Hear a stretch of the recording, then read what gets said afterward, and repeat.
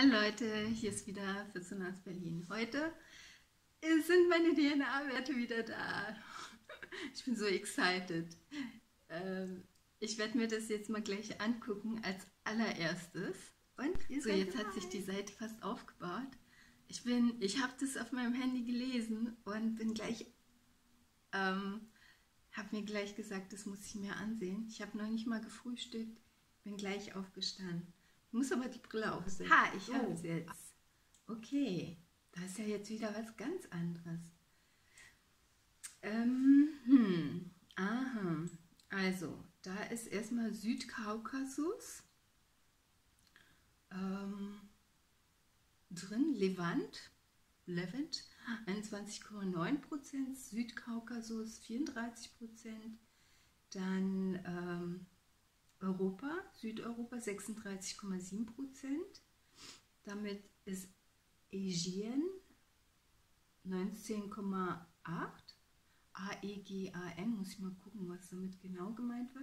Und dann Tuscani, also die Toskana, das hatte ich schon vorher gehabt. Bergamo, die Richtung. Ähm, ja, aber da wird jetzt auch ganz Griechenland angezeigt. Mm, das ist wahrscheinlich das Aegean. Da habe ich 16,9 und Europa, ist Europa 7,4 Prozent, das ist der Westbalkan.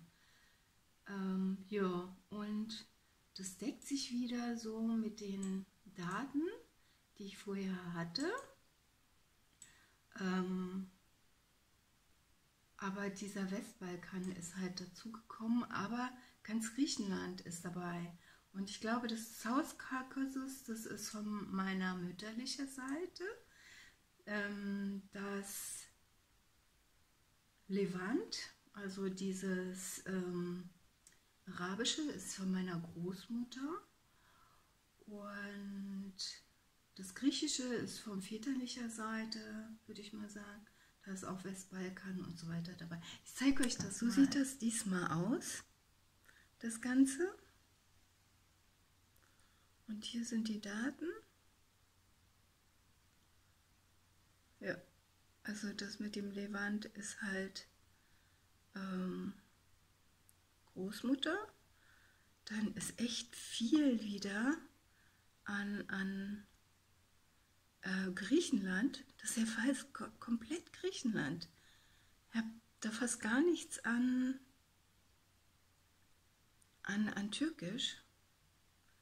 Das einzige Türkische, was darauf hindeutet, ist der Südkaukasus und gar nichts mehr von Zentralasien oder so.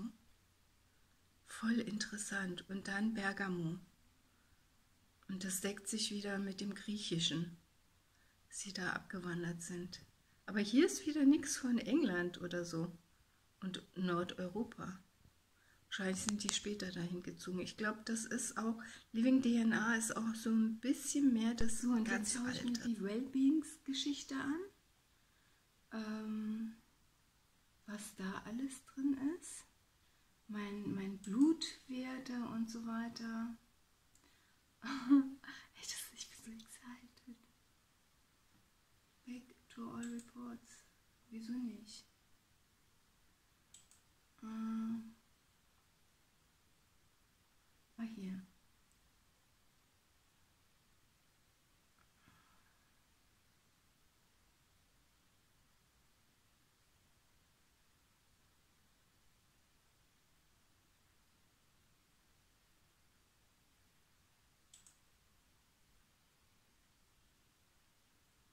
Okay, das wurde nicht geloadet, steht hier. Hm. Warum nicht? ja in hm, could not be loaded. Ach so, wahrscheinlich ist das echt. Ey, wieso habe ich dafür bezahlt, wenn die das nicht gemacht haben? Hm.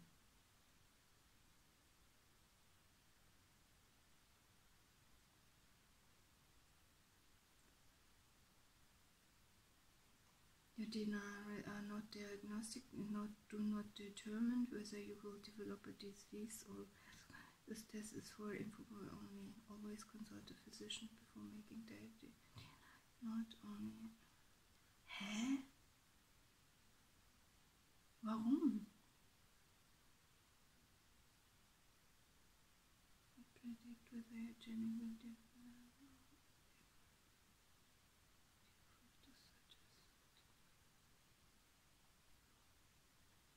Die haben das nicht gemacht. Hm.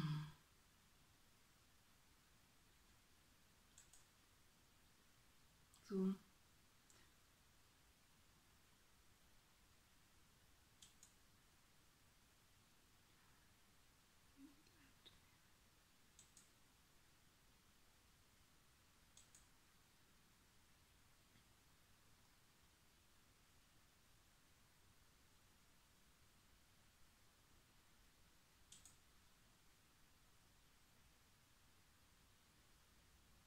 Also ich sehe jetzt momentan nur ah, Recent mit ah, ich sehe einmal die Recent, die jetzige Ancestry und dann nochmal die Maternal, also mütterlicherseits.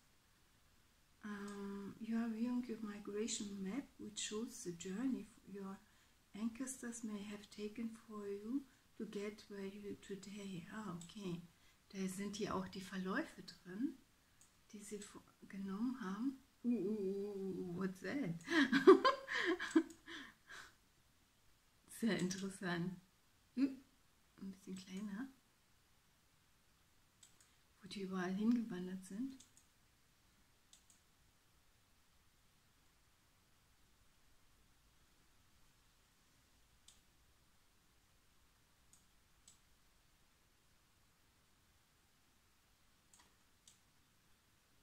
Sind sogar nach Südamerika gewandert.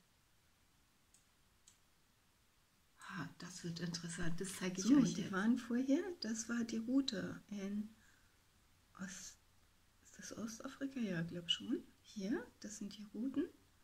Und dann sind die hier abgezweigt, sind dann nach hier, Levante, das ist großmütterlicherseits, und sind dann hier sogar noch weiter gedriftet.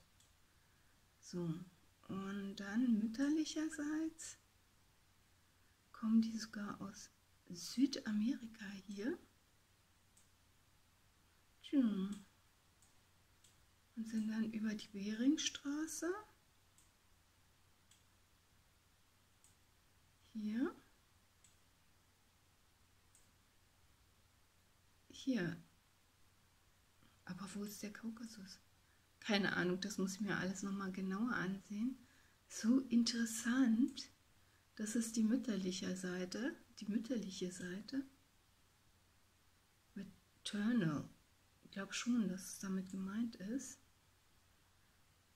Und voll interessant.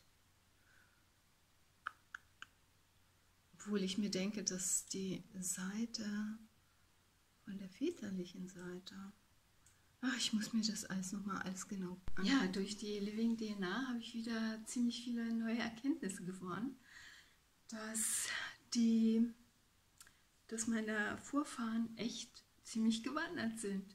Einfach um zu überleben wahrscheinlich, ne? um ihren, ihren, ihren ähm, Kindern und so weiter eine gute Zukunft zu ermöglichen. Und das Lustige ist, dass Südamerika angezeigt wird, dass die da von da gewandert sind.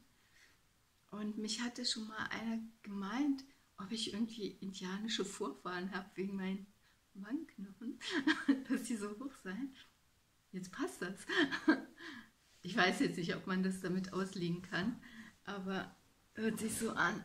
Jetzt werde ich mir das mal alles in Ruhe nochmal ansehen und ich schaue nochmal, warum ich meine Wellbeing-Daten nicht bekomme. Aber ich hatte ja auch gehört, irgendwie für Deutschland bekommt man die nicht oder so. Ähm, ja, keine Ahnung. So, hier ist noch ähm, ein Teil, wo äh, von dieser DNA gezeigt wird, wo die Menschen, ganzen Menschen leben, die, ähm, ja, wo die Wanderungen stattgefunden haben. Und das ist ja eigentlich so alles China, Zentralasien, Japan und weiß ich was. Also ähm, dann das mit dem Zentralasien stimmt schon. darum vielleicht auch meine Affinität für ähm, chinesisches Essen, für das ganze Essen da und Stäbchen essen. Aber ähm, jetzt passt es auch mit der Maternal ähm, DNA, weil meine Mutter kommt ja sehr, ähm, denke ich mir schon, äh, aus Zentralasien. Das deckt sich. Also die Vorfahren, nicht meine Mutter selber. Weil sie ja Türkin ist. Und mein Vater eher so die griechische Seite. So, jetzt habe ich im Nachhinein habe ich ähm, meine Wohlbefindendaten bekommen. Das ist gleich das Negative am Anfang. Ähm, und zwar deckt sich das mit den Annahmen, die ich immer hatte. Das ist total crazy. Also D2 ist verringert. Mm, das ist jetzt nicht so dramatisch, das supplementiere ich sowieso. Vitamin A auch. Und das habe ich auch immer festgestellt, dass äh, wenn ich nicht genug Mohrrüben und sowas esse, täglich, dass ich da Augenschmerzen bekomme. Hat sich auch gedeckt. Meine Laktoseintoleranz hier ist auch verringert. Das heißt, ich habe nicht so gute Laktosetoleranz, aber das hatte ich hier vom Arzt schon testen lassen und ja, da hatte mir das bestätigt. Und Zöliakie-Risiko, eine Variante gefunden.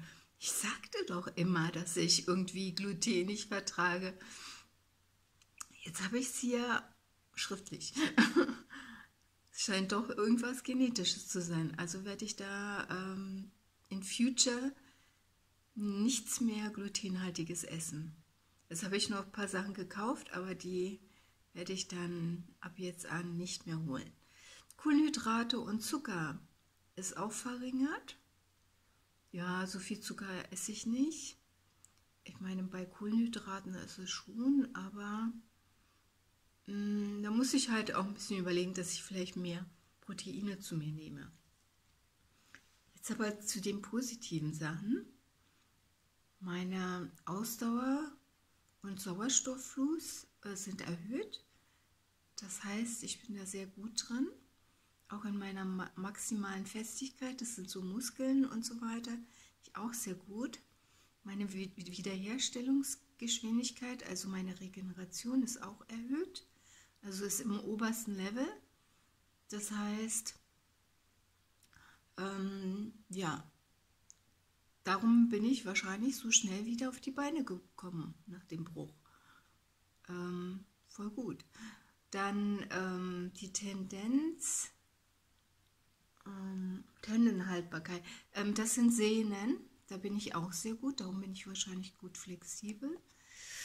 Ähm, danach kommt die Kraft, Ausdauer, Trainierbarkeit. Da bin ich irgendwie verringert, was mich wundert, weil die anderen Werte positiv sind. Aber ich merke auch, wenn ich zu lange laufe, muss ich mal einen Stopp einsetzen. Also, aber es ist besser geworden auf jeden Fall. Früher war das noch schlechter. Das Training steht auch drin, Training verbessert es, äh, auf jeden Fall. Nur brauche ich halt ein bisschen länger als andere. So, und dann Ausdauerreaktion auf Blutgefäße ist auch erhöht, also ist auch gut. Ja, darum bin ich in der Fitness anscheinend sehr gut, auch schon von den Dispositionen her. Das freut mich natürlich. ja, das sind meine Wohlbefinden. Darauf freue ich mich besonders, dass die mir das noch reingestellt haben. Ich habe bei Living DNA habe ich da angerufen und habe mitgeteilt, dass mir, dass das halt äh, mir noch fehlt. Und dann haben die das im Nachgang noch schnell gemacht. Und da bin ich echt voll glücklich drüber, dass die das gemacht haben. Und ich finde bis jetzt von allen ähm, Tools, finde ich Living DNA am besten. Hat natürlich ein bisschen mehr gekostet. Ich weiß nicht, ob Ancestry hat aber auch mehr gekostet. Und aber hierfür finde ich, habe ich die besten Ergebnisse bis jetzt bekommen. Und die nachvollziehbarsten. Das mit der Mutter Haplo wusste ich nämlich nicht. Und auch, dass es genetisch mit dieser Ausdauer und so festgelegt ist, wusste ich auch nicht. Und alles andere passt auch sehr gut. Nur wundert es mich, dass die Türkei, ähm, dass da überhaupt keine Gene gleich sind. Okay, das war es wieder von mir gewesen. Ich hoffe, es war für euch auch genauso interessant. Das Living DNA finde ich richtig gut. Da wird noch ein bisschen mehr gezeigt, wo die Routen hingewandert sind und wo man jetzt gerade steht. Voll interessant. Okay, tschüss, bis zum nächsten Mal.